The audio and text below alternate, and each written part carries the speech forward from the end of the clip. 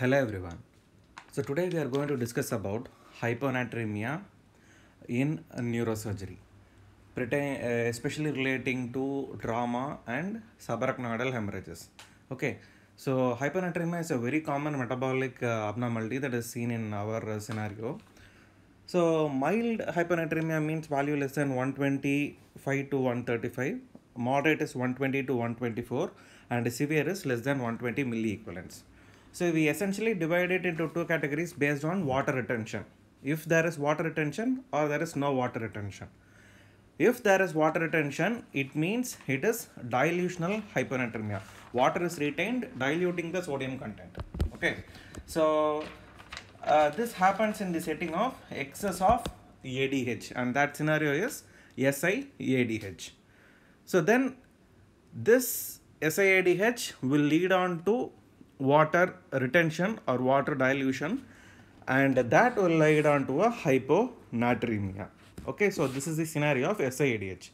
Now coming to no water, uh, coming to water loss, it is because of atrial natriuretic peptide or brain related natriuretic peptide and this will lead to excess loss of sodium. Sodium gets excreted and because of this there is hypernatriuresis and you get salt wasting. So cerebral salt wasting syndrome is what is the characteristic of CSW. So now how can we differentiate between um, SIADH and uh, cerebral salt wasting syndrome? There are two things to remember here, two very important things, which are we need to estimate the volume, we need to estimate the volume of loss or the intravascular volume, which is more easy to estimate. So by central venous pressure.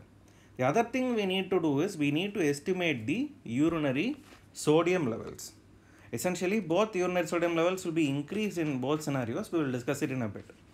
Now, coming to SIADH, it usually happens in the first or second week following a head injury due to increased ADH levels, which will lead on to water retention. And what does this water retention do? This water retention will cause hyponatremia because of dilutional effect. Not only that, the serum will become hypoosmolar, that is diluted. Okay, so that is what is diluted. Then the third thing is there will be hypervolemia. Okay, so all this will happen, and ultimately, this will lead on to hyperosmolar urine, that is concentrated urine. So hyperosmolar urine or concentrated urine happens and the most important thing is since water is retained here we get a normal skin turgor that is there will be no signs of no external signs of dehydration. So that is one of the very important differentiating factor between SIADH and CSW okay? So the skin turgor will be normal and there will be no dehydration.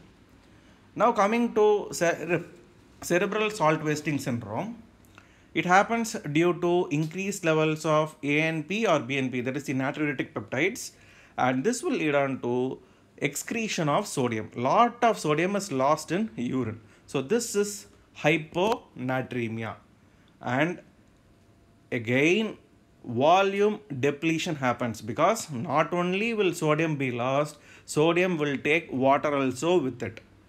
So the third thing that happens is you will get hypernatriuresis. So hyponatremia because hypernatriuresis and volume depletion.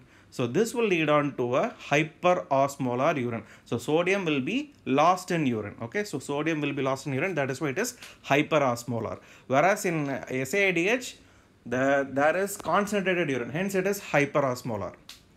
So what are the differences between SADH and cerebral salt wasting syndrome?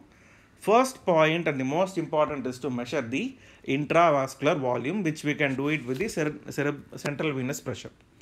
So we know that in SADH there is water retention and in cerebral salt wasting syndrome there is sodium and water loss. Keep this in mind always so we can differentiate them. Intravascular volume will be increased because of dilution and in cerebral salt wasting syndrome it is reduced. The other features we are going to discuss is dehydration, then the body weight, the changes to the body weight that happens, the central venous pressure, the pulmonary capillary wedge pressure, and finally the hematocrit. So all these findings we have to know what is happening. So since there is water retention, there will be no dehydration.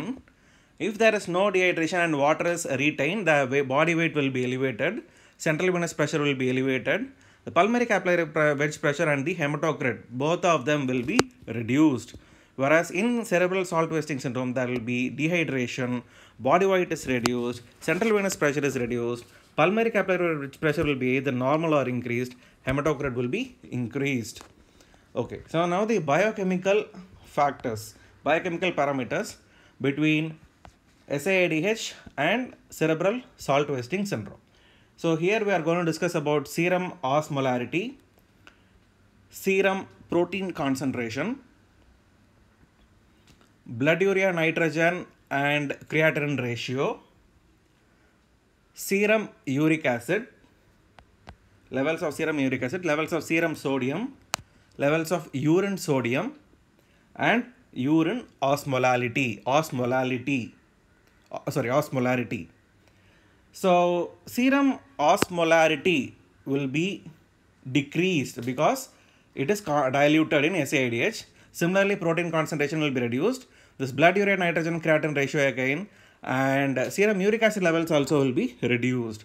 Serum sodium is reduced as we know it is hyponatremia. Urine sodium may be increased or normal and urine osmolality will be osmolarity will be increased meaning it is a concentrated urine. In cerebral salt wasting syndrome, the serum osmolality will be either increased or normal. Protein concentration will be increased. Blood urea nitrogen will be normal or increased. Serum uric acid levels will be normal. Again, serum sodium is reduced because of loss. Urine sodium will be increased because more amount of sodium is increased and urine osmolality will be increased. The fact to remember here is serum sodium and urine osmolality, osmolarity the features will be very similar in both uh, cerebral salt wasting syndrome and SAIDH. That's it. Thank you.